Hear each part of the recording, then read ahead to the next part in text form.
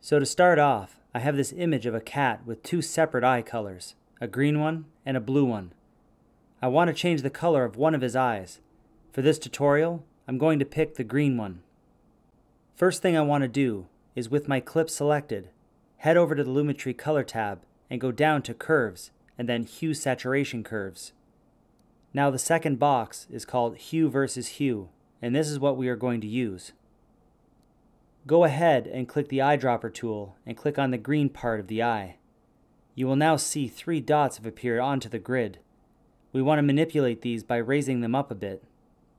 How far you raise them up will determine which color you are going for.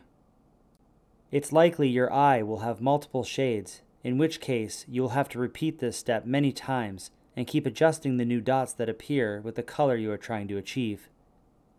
With a little practice, you can change the eye color of almost anything very quickly.